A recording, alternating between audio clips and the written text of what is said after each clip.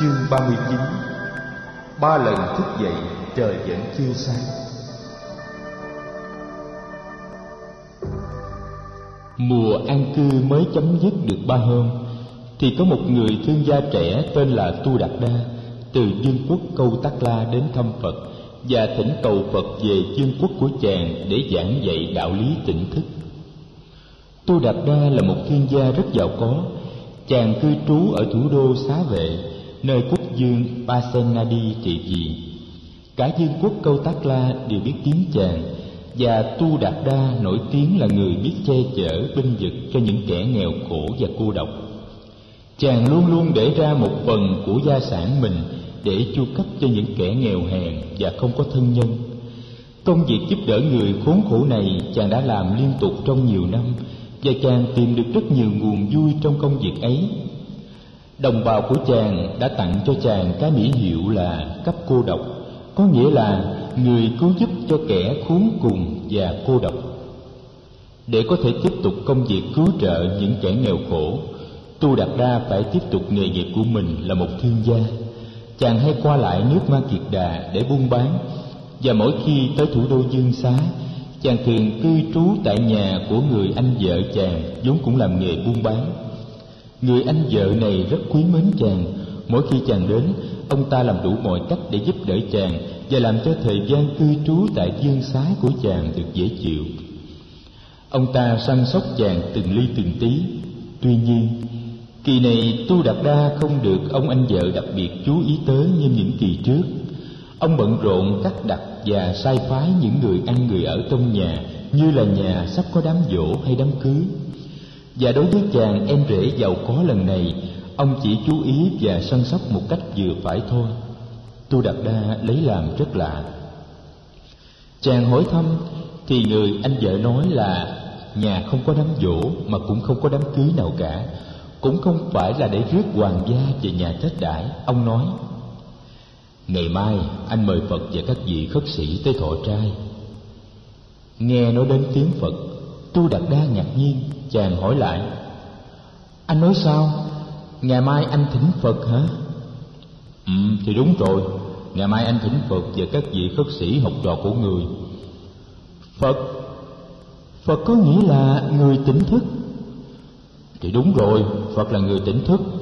Đó là một bậc giác ngộ toàn vẹn. Đó là một con người thật mầu nhiệm và thật đẹp đẽ. Sang mai thế nào em cũng sẽ được gặp người. Danh từ Phật gây nên trong tâm tư Tu Đạt Đa biết bao nhiêu nguồn cảm hứng.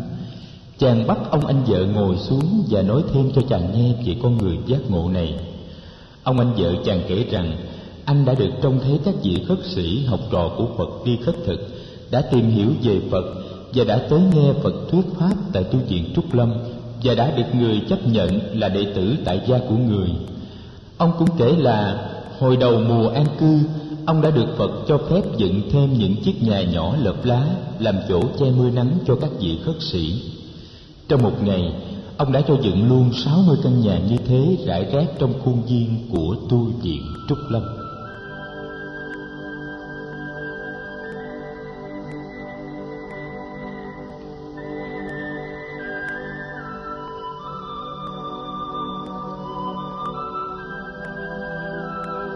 Không biết vì một duyên cớ thâm sâu nào đó mà Tu Đạt Đa đem lòng thương mến Phật ngay khi mới nghe nói đến danh hiệu của người Suốt đêm đó, Tu Đạt Đa không ngủ yên giấc. Chàng cứ mong cho trời sáng để có thể đi viếng Phật tại tu viện Trúc Lâm. Dù chàng biết hôm nay Phật và giáo đoàn của người sẽ tới thọ trai tại nhà ông anh vợ. Ba lần chợt tỉnh giấc trong đêm là ba lần chàng tưởng trời đã sáng, nhưng trời vẫn chưa sáng. Cuối cùng, Tu đập Đa trỗi dậy. Trời chưa sáng, nhưng chàng nhất quyết ra đi tìm Phật. Chàng mặc áo mang giày và mở cửa ra đi một mình. Trời khuya còn đầy sương và lạnh. Qua cổng sivaka chàng hướng về phía tu viện trúc lâm. Trời còn tối lắm nhưng khi chàng vào tới cổng tu viện thì dáng cây dáng lá đã bắt đầu hiện rõ tu đạt đa nóng lòng muốn gặp phật, nhưng trong tâm còn e ngại. Chàng nói một mình để tự trấn tĩnh. Tu đạt đa, đừng e ngại, đừng e ngại. Lúc ấy, phật đã thức, và người đang đi thiền hành ngoài trời ngay phía trước mặt chàng mà chàng không biết. Phật gọi tu đạt đa. Tu đạt đa giật mình tiếng gọi đến từ phía trước. Chàng ngẩng lên nhìn thì thấy dáng một người đang đi tới. Linh tính báo cho chàng biết rằng đó là phật. Phật đã gọi tên chàng. Chàng đang đi tới với phật và phật đang đi tới phía chàng. Tu đạt đa bước tới một bước nữa và chắp tay cúi đầu làm lễ phật. Phật đỡ tu đạt đa dậy và cầm tay chàng đưa về tỉnh thất của người.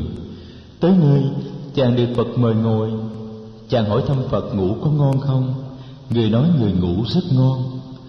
Tu đạt đa tự giới thiệu mình và kể cho phật nghe chuyện chàng thức dậy ba lần trong đêm và cứ tưởng là trời đã sáng. Chàng xin phật dạy cho chàng về đạo lý và phật bắt đầu giảng dạy cho chàng về trí tuệ và từ bi. Tu đạt đa rất sung sướng. Chàng sụp lại xin phật nhận chàng làm đệ tử. Phật lặng yên chấp thuận chàng lại thỉnh phật và giáo đoàn ngày mai tới thọ trai tại nhà người anh vợ của chàng. Phật cười nói,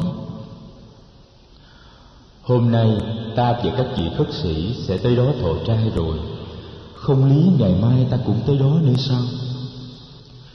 Tu đặt đa khẩn khoản, ngày hôm nay là ngày anh con thỉnh cầu phật, ngày mai người thỉnh cầu phật và các vị khất sĩ lại là con con tiếc là không có nhà cửa riêng ở đây để có thể thỉnh cầu phật và các thầy. Xin phật từ bi chấp nhận cho con. Phật mỉm cười nhận lời tu đặt đa. Chàng sung sướng làm lễ bái biệt ngài. Trời đã sáng hẳn. Chàng phải về để giúp ông anh vợ chuẩn bị công cuộc đón tiếp phật và giáo đoàn.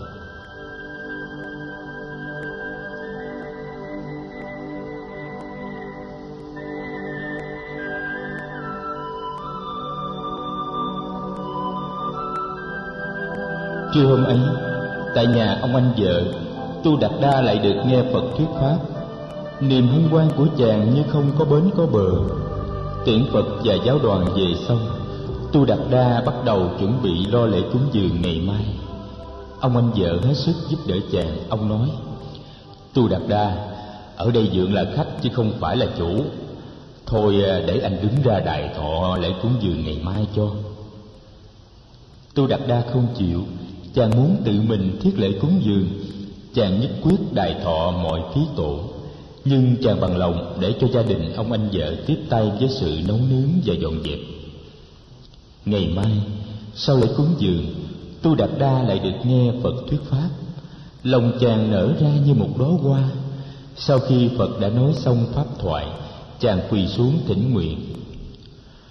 Lại phật, hầu hết dân chúng nước câu tác la chúng con chưa có cơ duyên tiếp đón phật và giáo đoàn tôn quý của người để được học hỏi về đạo lý tỉnh thức.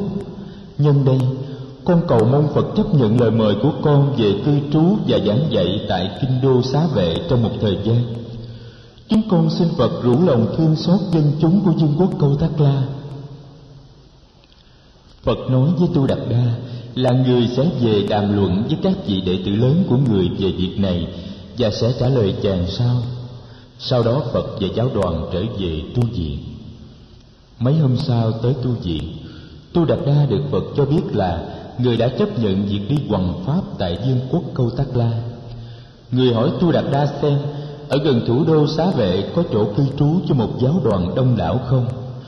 Tu đạt đa bạch rằng, chàng sẽ lo liệu chu toàn về việc cư trú của giáo đoàn tu đạt đa còn thỉnh phật cho phép một vị cao đệ của phật là đại đức xá lợi phất về thủ đô xá vệ một lần với chàng để chuẩn bị cho công cuộc hoằng pháp của phật. Phật hỏi ý xá lợi phất thì thầy bằng lòng. Một tuần lễ sau đó tu đạt đa tới tu viện từ giả phật cùng giáo đoàn, đồng thời rước đại đức xá lợi phất cùng lên đường về thủ đô xá vệ.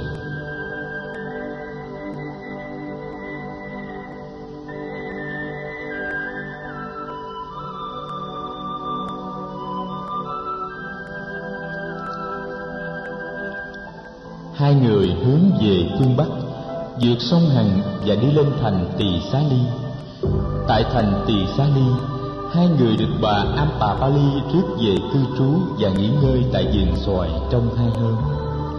Đại Đức Xá Lợi Phất có cho nữ Phật tử Ampapali biết là Phật cùng giáo đoàn sẽ mở một chuyến đi hoằng pháp tại vương quốc Câu Tắc La và cũng sẽ ghé qua thành Tỳ Xá Ly này. Am bà Ampapali rất vui mừng, bà hỏi thăm Đại Đức xem chừng nào Phật sẽ ghé ngang qua để bà có thể chuẩn bị đón tiếp Phật và giáo đoàn. Đại Đức nói là trong khoảng sáu tháng, bà tỏ ý rất quan hỷ được tiếp đón thầy xá lợi Phất và cư sĩ Tu Đạt Đa. Bà ngỏ lời khen ngợi vị trưởng giả trẻ tuổi này về công trình cứu tế xã hội của chàng và khuyến khích chàng trong công việc tổ chức chuyến đi hoằng pháp sắp đến của Phật. Từ giả Âm Bà Bali, hai người hướng về phía tây bắc, đi trên tả ngạn dòng sông Asirapati đây là lần đầu Tu Đạt Đa đi bộ trên một quãng đường dài như thế.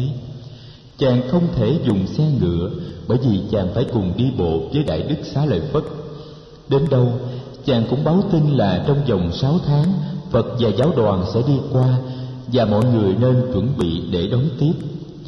Đi đến đâu, chàng cũng nói Phật là một bậc tỉnh thức vừa xuất hiện trên cõi đời Bà con cô bác hãy thành tâm chuẩn bị để đón tiếp người và giáo đoàn cao quý của người Dương quốc Câu Tắc La là một nước lớn hùng mạnh không kém gì Dương quốc Ma Kiệt Đà. Biên giới miền Nam của Dương quốc là sông Hằng, đất đai của Dương quốc trải dài tới miền Bắc cho đến những ngọn đồi sát chân dãy Hy Mã Lạp Sơn. Dân chúng ở Dương quốc Câu Tắc La không mấy ai là không nghe nói đến Tu Đạt Đa. Ai cũng gọi chàng là trưởng giả cấp cô độc, người chu cấp cho những kẻ bần cùng và cô độc. Khi chàng mở lời ca tụng bậc giác ngộ ai cũng tin ngay lời chàng. Ai cũng ước ao được thấy mặt phật và giáo đoàn của người. Đại đức xá lợi phất sáng nào cũng ghé vào các thôn xóm để khất thực và tu đạt đa thường đi theo với người. Tu đạt đa thường lấy cơ hội tiếp xúc này để nói cho đồng bào chàng nghe về phật và về giáo đoàn các vị khất sĩ.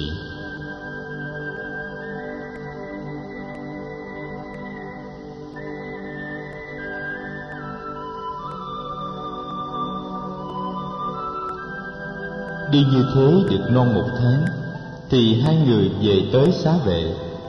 Đại đức xá lợi Phất được Tu Đạt Đa mời về nhà để cúng dường.